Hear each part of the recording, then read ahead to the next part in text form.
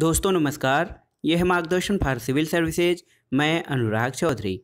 दोस्तों, आज की वीडियो में प्रस्तुत है समसामयिक घटना चक्र द्वारा प्रकाशित भारतीय अर्थव्यवस्था, सामाजिक एवं आर्थिक विकास का सातवां भाग। इसके छः भाग हम पहले ही कर चुके हैं। दोस्तों, इस श्रृंखला के अन्य वीडियो के लिए आप इंडियन इकॉनमी प्लेलिस्ट में जाकर अन्य वीडियो को देख सकते हैं। दोस्तों, इसमें हम गरीबी रेखा से संबंधित और भुगतान संतुलन आज से संबंधित, विदेशी व्यापार से संबंधित प्रमुख प्रश्नों को देखेंगे। तो आइए शुरू करते हैं आज का वीडियो। पहला प्रश्न है, निर्धनता का दुष्चक्र की अवधारणा किससे संबंधित है? तो दोस्तों, निर्धनता के दुष्चक्र की अवधारणा नक्स नामक विद्वान, यानी इनका पूरा नाम है रैगनर नक्स, इनसे संबंधित है। अगला प्रश्न, कथन कारण से है। कथन है, गरीबी रेखा के नीचे लोगों को एक अभिज्ञित समूह के रूप में मानने की आवश्यकता है। सही है। इससे कार्यक्रम अभिकरणों को लक्षित करने में सहूलियत होगी। तो ए और आर दोनों सही हैं और आर ए का सही स्पष्टीकरण भी है। अगला प्रश्न, कथन कारण से है। भारत में और अमीर और गरीब दोनों ही कुपोषित हैं। सही है। कारण है, अमीर गलत भोजन खाते हैं और गरीब रूखा सूखा भोजन करते हैं। तो दोनों ही कथन और कारण सही हैं और आर ए की सही व्याख्या करता है तो इसलिए इसका ऑप्शन ए सही हो जाएगा। अगला प्रश्न देखते हैं। दोस्तों, जुलाई 2013 में योजना आयोग द्वारा जारी गरीबी के नवीनतम आकलन के अनुसार क्या था? तो 2011 बारे में सर्वाधिक गरीबी सत्ता वाला राज्य छत्तीसगढ़ था। अगला प्रश्न है, कथन कारण से संबंधित। कथन है, बिहार भारत का एक पिछड़ा राज्य है। तो ये सही कथन है और कारण है यहाँ विकास के स्तर में क्षेत्रीय भिन्नता मिलती है। तो दोस्तों, ए और आर दोनों सही है और आर ए की सही व्याख्या नहीं करता है।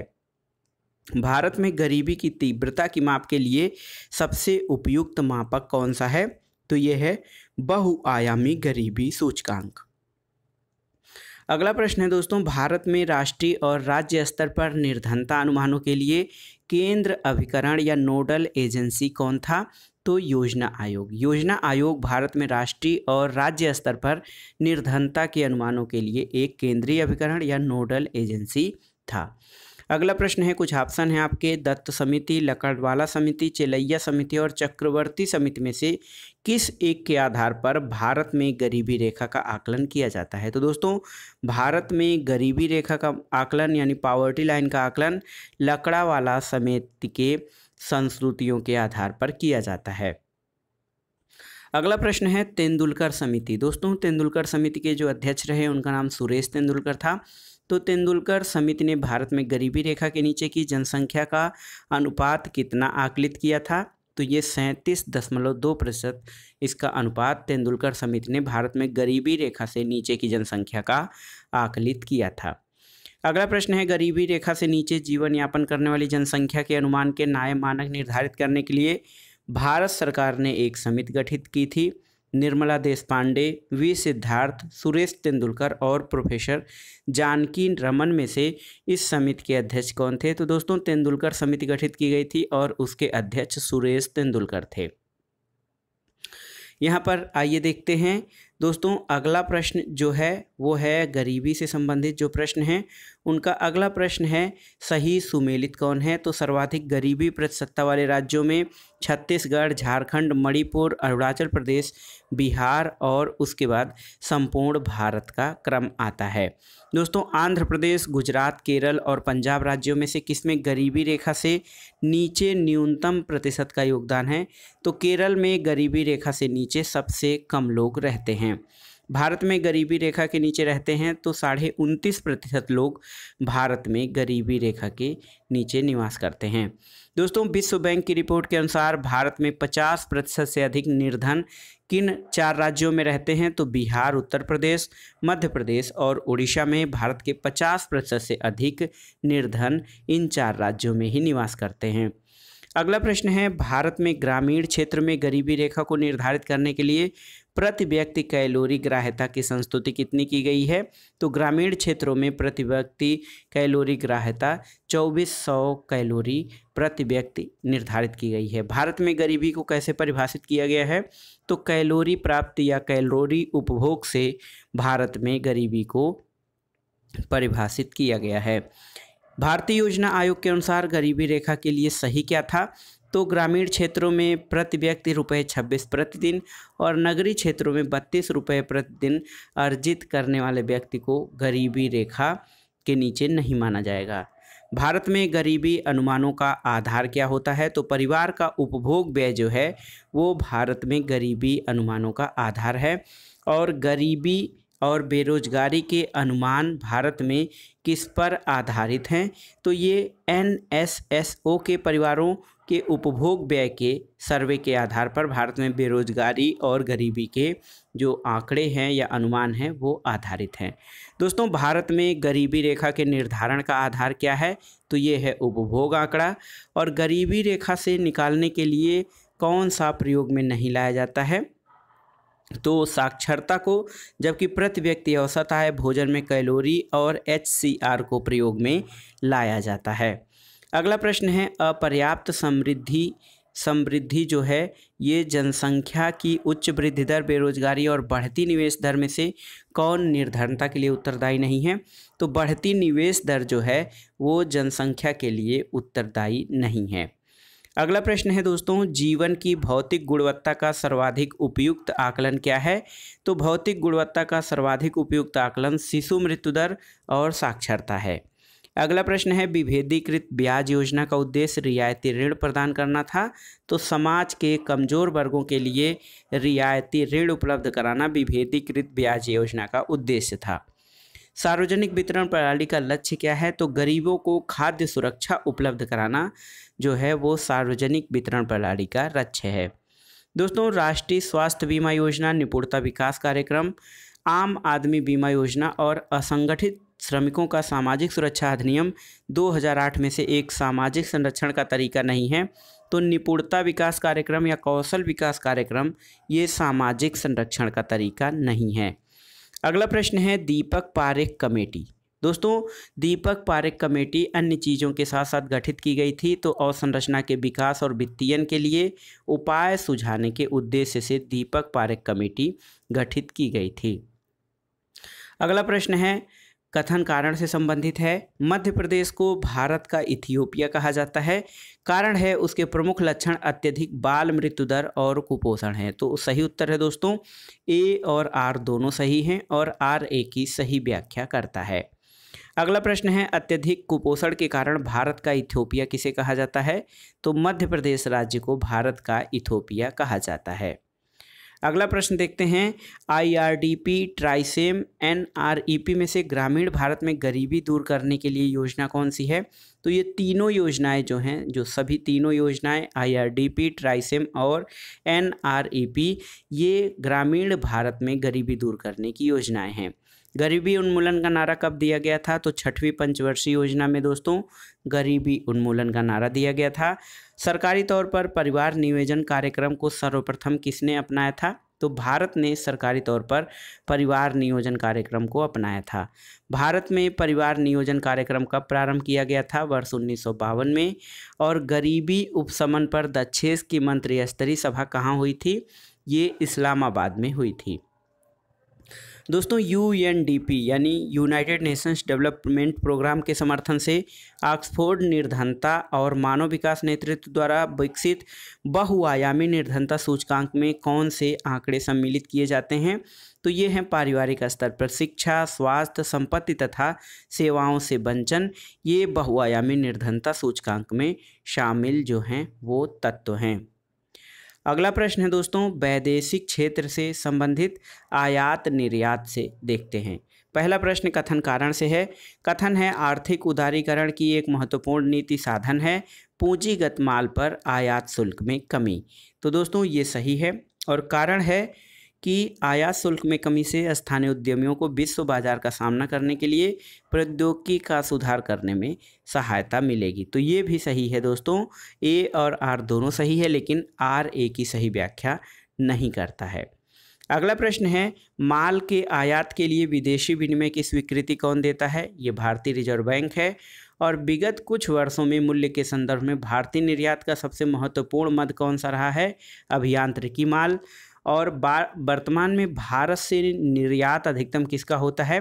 तो इंजीनियरिंग उत्पाद का निर्यात सबसे अधिक होता है। अगला प्रश्न है दोस्तों, भारत सरकार की नई विदेशी व्यापार नीति कब प्रारंभ की गई थी? तो एक अप्रैल 2015 से प्रारंभ की गई थी और इसकी जो समयावधि है वो एक अप्रैल 2015 से 31 मार्च 2020 है। भारत द्वारा सबसे अधिक विदेशी मुद्रा व्यय की जाती है पेट्रोलियम पदार्थों के आयात पर। और हाल के वर्षों में देखा जाए तो भारत में आयात की सबसे बड़ी मद कौन सी है? ये पेट्रोलियम पदार्थ हैं दोस्तों। दोस्तों, हीरे के निर्यात से भारत को काफ़ी अधिक आय होती है। इसमें किसका योगदान है? तो विशेषज्ञों की उपलब्धि जो आयातित हीरों की कटाई और पालिश करते हैं ताकि बाद में उनका निर्यात हो सके। दोस्तों, तिरुपुर तिरुपुर विश्व के अनेक क्षेत्रों में किस लिए प्रसिद्ध है? ये बुने हुए वस्त्रों के निर्यात के लिए तिरुपुर प्रसिद्ध है। भारत में स्वतंत्र व्यापार क्षेत्रों की स्थापना की गई है। दोस्तों, निर्यात उद्योगों के संवर्धन के लिए भारत में स्वतंत्र व्यापार क्षेत्रों की स्थापना की गई है। स्वतंत्र व्यापार क्षेत्र या फ्री ट्रेड एरिया या फ्री ट्रेड जोन किसे कहते हैं? उद्यमियों को जहाँ पर अवसंरचनात्मक या इंफ्रास्ट्रक्चर सुविधाएँ सरकार द्वारा प्रदान की जाती हैं, उसे स्वतंत्र व्यापार क्षेत्र कहा जाता है। अगला प्रश्न देखते हैं दोस्तों। विशेष आर्थिक क्षेत्र नीति S E Z special economic zone की नीति कब घोषित की गई थी? अप्रैल 2000 में। एशिया का प्रथम निर्यात प्रसंस्करण क्षेत्र 1965 में कहाँ स्थापित किया गया था? ये कांडला, गुजरात में। भारत का प्रथम निर्यात उपयोगीकरण क्षेत्र ई e का सृजन कहाँ हुआ था? कांडला में। और देखिए, कांडला, मुंबई, विशाखापत्तनम और तिरुवनंतपुरम में से वह एक जगह जहाँ मुक्त व्यापार क्षेत्र नहीं है। तो तिरुवनंतपुरम में मुक्त व्यापार क्षेत्र नहीं है, जबकि कांडला, मुंबई और विशाखापत्तनम में मुक्त व्यापार क्षेत्र स्थापित किया गया है। बड़ोदरा किसके लिए प्रसिद्ध है? पटोला सिल्क के लिए बड़ोदरा प्रसिद्ध है। अगला प्रश्न है दोस्तों, निजी क्षेत्र का प्रथम निर्यात प्रक्रिया क्षेत्र कहाँ स्थापित किया गया? ये सूरत में। विशेष आर्थिक क्षेत्र यानी एस ई जेड अधिनियम कब प्रभावी हुआ था। वर्ष 2006 में विशेष आर्थिक क्षेत्र अधिनियम कब पारित हुआ था? मई 2005 में। दोस्तों, जो सेज एक्ट था, स्पेशल इकोनॉमिक जोन एक्ट 2005 था, इसके उद्देश्य क्या थे? तो अवसंरचना और सुविधाओं का विकास, विदेशी स्रोतों से निवेश को प्रोत्साहन करना 2006 में प्रभावी हुए सेज एक्ट 2005 के उद्देश्य थे। सेज यानी विशेष आर्थिक क्षेत्र का उद्देश्य क्या नहीं है? विदेशी निवेश को हतोत्साहित करना, ये इसका उद्देश्य नहीं है। अगला प्रश्न है दोस्तों, वर्ष 1950 में अंतर्राष्ट्रीय निर्यात में भारत का योगदान एक दशमलव आठ पाँच प्रतिशत था, लेकिन आज यह कितना है? तो दोस्तों, यह आज दो प्रतिशत के आसपास है। अंतर्राष्ट्रीय व्यापार में अधिकतम हिस्सेदारी किसकी है? तो ये संयुक्त राज्य अमेरिका की है। और देखिए, भारत में सबसे अधिक सीधा विदेशी निवेश किस क्षेत्र में आकर्षित होता है? तो ये सेवा क्षेत्र में है। अगला प्रश्न है दोस्तों, आयल पूल खाते की समाप्ति किससे प्रभावित हुई थी, कब? तो एक अप्रैल 2002 से आयल पूल खाते की समाप्ति प्रभावित हुई थी। अगला प्रश्न है दोस्तों, कि भारत में जो निर्यात का सबसे बड़ा भाग कहाँ भेजा जाता है? संयुक्त अरब अमीरात में। पचास प्रतिशत से अधिक भारत का आयात कहाँ से आता है? ये एशियाई देशों से आता है। और दो, दोस्तों, ये सब करेंट के मुद्दे हैं, लेकिन ये अब भी प्रासंगिक हैं। भारत का सबसे बड़ा व्यापारिक साझेदार ये यूएसए है और भारत का अधिकतम विदेशी व्यापार यूएसए के साथ होता है। और वर्तमान समय में कुल अंतर्राष्ट्रीय व्यापार में भारत का सबसे बड़ा व्यापारिक साझेदार ये आपका संयुक्त राज्य अमेरिका है। अगला प्रश्न देखते हैं दोस्तों। अगला प्रश्न है, विश्व में लंबे रेशे के कपास का सबसे बड़ा उत्पादक और निर्यातक देश कौन सा है? संयुक्त राज्य अमेरिका, भारतीय संगठन जो भारत के आयात निर्यात को प्रभावित करते हैं तो खनिज और धातु व्यापार निगम, आयात निर्यात बैंक और राज्य व्यापार निगम तथा भारतीय खाद्य निगम, ये भारत के आयात निर्यात को प्रभावित करने वाले प्रमुख भारतीय संगठन हैं। भारत में निर्यात आयात यानी एग्जिम बैंक का गठन कब हुआ था? वर्ष उन्नीस सौ बयासी में। ई ई सी जी सी किससे संबंधित है? निर्यात वित्तीयन और बीमा से। और निर्यातकों की विभिन्न जोखिमों हेतु बीमा प्रदान कौन करता है? तो export, credit and guarantee corporation, यानी ईसीजीसी निर्यातकों की विभिन्न जोखिमों हेतु बीमा प्रदान करता है। दोस्तों, विदेश व्यापार का संवर्धन कौन करता है? तो ईसीजीसी एमएमटीसी और एसटीसी जो है, ये विदेशी व्यापार का संवर्धन करता है। भारत में फेमा के संबंध में सही कथन क्या है? तो दोस्तों, फेरा को फॉरेन एक्सचेंज रेगुलेटिंग एक्ट को 31 मई 2002 तक को दो वर्ष के लिए निश्चितकालिक सनसेट खंड दिया गया था, ताकि प्रवर्तन निदेशालय अनिर्णित विषयों की जाँच पड़ताल पूरी कर ले। अगला प्रश्न है, स्वतंत्र व्यापार नीति उस नीति को बताती है जहाँ पर प्रशुल्क अनुपस्थित होता है। अगला प्रश्न, कथन कारण से है मुद्रा का अवमूल्यन निर्यात को बढ़ावा दे सकता है, सही है, और अवमूल्यन से अंतर्राष्ट्रीय बाज़ार में घरेलू उत्पादों का मूल्य गिर जाता है तो ये भी सही है। दोस्तों, ए और आर दोनों सही हैं, और आर ए की सही व्याख्या करता है। अगला प्रश्न है कभी कभी समाचारों में दिखने वाले पद आयात आवरण यानी इम्पोर्ट कवर का अर्थ क्या होता है? दोस्तों, यह उन महीनों की संख्या को बताता है, जितने महीनों के आयात का भुगतान देश के अंतर्राष्ट्रीय रिज़र्व बैंक द्वारा किया जा सकता है। अगला प्रश्न है, दोस्तों कथन कारण से कथन है। एक्जिम नीति उदारवादी और बाज़ार परक है और भूमंडली व्यापार के प्रतिकूल अनुकूल है। कारण है कि GATT, general agreement and trade and tariff ने अर्थव्यवस्था के उदारीकरण में एक महत्वपूर्ण भूमिका निभाई है। तो दोस्तों, ए और आर दोनों सही हैं, लेकिन आर ए का सही स्पष्टीकरण नहीं है। अब आइए देखते हैं, सही सुमेलन करना है भारत से निर्यात की वस्तुएँ और कहाँ जाती हैं। तो लौह अयस्क जापान में चमड़े का सामान रूस चाय यूके यानी यूनाइटेड किंगडम और सूती कपड़ा यूएसए को निर्यात किया जाता है। अगला प्रश्न देखते हैं। अगला प्रश्न है दोस्तों इंडिया ब्रांड इक्विटी फंड तो देखिए, बहुत ही महत्वपूर्ण प्रश्न है। कभी भी अर्थव्यवस्था में पूछ सकता है इंडिया ब्रांड इक्विटी फंड की स्थापना कब हुई थी? उन्नीस सौ छानबे में।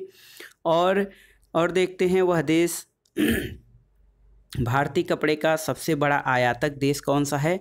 संयुक्त राज्य अमेरिका है। कल्चर मोती। दोस्तों, कल्चर पर्ल जो होता है, इसका उत्पादन महत्वपूर्ण कुटीर उद्योग है कहाँ का?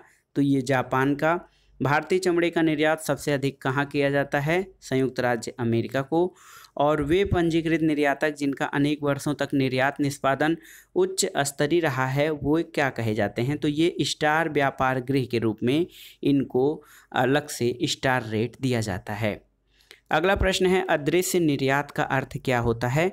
दोस्तों, सेवाओं का निर्यात जो है, उसे अदृश्य निर्यात की मदों के अंतर्गत शामिल किया जाता है। एंट्री पोर्ट व्यापार से क्या तात्पर्य है?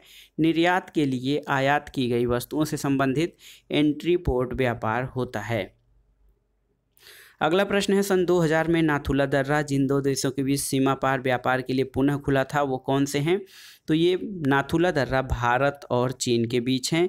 आयात की प्रक्रिया किससे आरंभ होती है? तो इंडेंट से प्रारंभ होती है आयात की प्रक्रिया।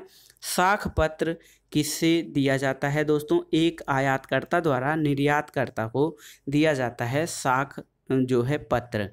ड्यूटी ड्राबैक का क्या आशय है? निर्यातकों को आयात शुल्क की वापसी, ड्यूटी ड्राबैक का आशय है।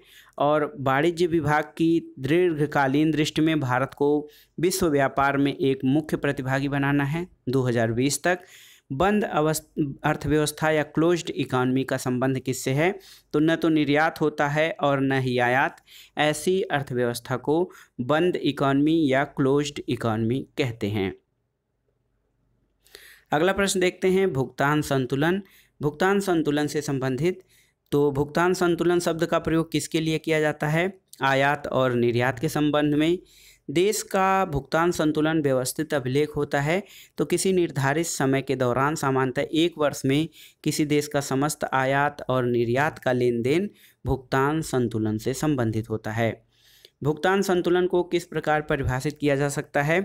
एक देश के निवासीगण और शेष विश्व के बीच आर्थिक कार्यों का पूरा ब्यौरा भुगतान संतुलन कहलाता है। दोस्तों, भुगतान संतुलन में क्या चीज़ें निहित होती हैं? तो दृश्य व्यापार, अदृश्य व्यापार और ऋण भुगतान संतुलन में निहित होते हैं। भुगतान संतुलन के संदर्भ में चालू खाता बनता है, व्यापार संतुलन और अदृश्य संतुलन से चालू खाता बनता है। दोस्तों, विदेशी व्यापार का भुगतान किससे संबंधित है? ये भुगतान संतुलन से संबंधित है। व्यापार संतुलन में क्या शामिल होता है? तो माल या वस्तुएँ व्यापार संतुलन में शामिल होती हैं। अगला प्रश्न है दोस्तों, नई एकल यूरोपियन मुद्रा का नाम क्या है? तो उस मुद्रा का नाम है यूरो मुद्रा। यूरो डॉलर क्या होता है? संयुक्त राज्य अमेरिका की परिसंघीय सरकार द्वारा जारी एक विशेष मुद्रा जिसका उपयोग केवल यूरोप में होता है, इसे यूरो डॉलर कहा जाता है। यूरो को अपनी मुद्रा के रूप में किसी ने नहीं स्वीकार किया है? ब्रिटेन, डेनमार्क और स्वीडन ने नई मुद्रा यूरो आरंभ की गई थी तो वर्ष उन्नीस सौ निन्यानवे में यूरो किसकी राष्ट्रीय मुद्रा है? तो दोस्तों, यूरो यूरोपीय संघ के 19 राज्यों की राष्ट्रीय मुद्रा है। अगला प्रश्न है, आर्थिक उदारीकरण नीति का एक महत्वपूर्ण लक्ष्य है। भारत रुपए के लिए पूर्ण परिवर्तनीयता प्राप्त करेगा और इसका समर्थन किया जा रहा है क्योंकि क्योंकि यह भारत में विदेशी पूंजी के प्रवाह को अधिक आकर्षित करेगी। रुपए की परिवर्तनीयता का क्या आशय है? तो दोस्तों रुपए का अन्य प्रमुख मुद्राओं और अन्य प्रमुख मुद्राओं को रुपए के रूप में मुक्त रूप में परिवर्तित कर देने की अनुमति जो है, वो रुपए की परिवर्तनीयता से संबंधित होती है। वर्तमान में रुपए की परिवर्तनशीलता का अर्थ क्या है? तो रुपया सभी प्रकार के चालू व्यवहारों के लिए विदेशी मुद्रा में परिवर्तनीय है, ये रुपए की परिवर्तनशीलता का आशय है। अगला प्रश्न है, चालू खाते में रुपए की पूर्ण परिवर्तनीयता को घोषित किया गया था उन्नीस सौ चौरानवे से। रुपए की पूर्ण विनिमयता का क्या अभिप्राय होता है? तो दोस्तों, अन्य अंतर्राष्ट्रीय मुद्राओं के साथ इसका मुक्त प्रवाह और देश के भीतर और बाहर किसी निर्धारित स्थान पर किसी अन्य राष्ट्रीय अंतर्राष्ट्रीय मुद्रा के साथ इसका सीधा आदान प्रदान रुपए की पूर्ण विनिमयता कहलाती है। भारतीय रुपया पूर्णतः अपरिवर्तनीय है तो भुगतान से इसके चालू लेखा माल के संबंध में भारतीय रुपये को परिवर्तनीय बनाया गया तो चालू खाते में अगस्त उन्नीस सौ चौरानवे से भारतीय रुपये को परिवर्तनीय बनाया गया। तारापोर समिति का संबंध किससे है? दोस्तों, पूर्ण पूंजी लेखा संपरिवर्तनीयता से तारापोर रिपोर्ट जो है तारापोर कमेटी संबंधित थी। भारतीय रुपये की पूर्ण परिवर्तनीयता के प्रश्न का परीक्षण किस समिति के द्वारा किया गया था? ये तारापोर समिति थी। मुद्रा के अवमूल्यन का क्या अर्थ है? तो दोस्तों, अंतर्राष्ट्रीय व्यापार में प्रयुक्त मुद्राओं की तुलना में देश की मुद्रा का मूल्य घट जाना मुद्रा अवमूल्यन कहलाता है। अंतर्राष्ट्रीय व्यापार में प्रयुक्त मुद्राओं की तुलना में देश की मुद्रा का मूल्य घट जाना ये मुद्रा अवमूल्यन कहलाता है। भारत में रुपए का अवमूल्यन पहली बार कब किया गया था? उन्नीस सौ उनचास में। और चालू खाते के घाटे को घटाने में सहायक साबित क्या हो सकता है। घरेलू मुद्रा का अवमूल्यन और उन उपयुक्त नीतियों को लागू करना, जिससे देश में अधिक एफडीआई तथा एफआईआईएस से अधिक निधि आए। मुद्रा के अवमूल्यन का क्या परिणाम है? दोस्तों, देश में निर्यातों का बढ़ना और आयातों का घटना, ये मुद्रा अवमूल्यन का प्रभाव है। जब कोई देश अपनी मुद्रा का अवमूल्यन करता है तो इसका क्या प्रभाव पड़ता है? आयात महँगे और निर्यात सस्ते हो जाते हैं। एक देश द्वारा अपनी मुद्रा के अवमूल्यन का सहारा लेता है। व्यापार से इसको ठीक करने के लिए एक देश मुद्रा के अवमूल्यन का सहारा लेता है। अगला प्रश्न कथन कारण से संबंधित है। कथन है, मुद्रा का अवमूल्यन या डिवेल्युएशन निर्यातों को बढ़ाने के लिए किया जाता है और कारण है, विदेशी व्यापार में घरेलू वस्तुएँ सस्ती हो जाती हैं। तो ए और आर दोनों सही है और आर ए की सही व्याख्या करता है।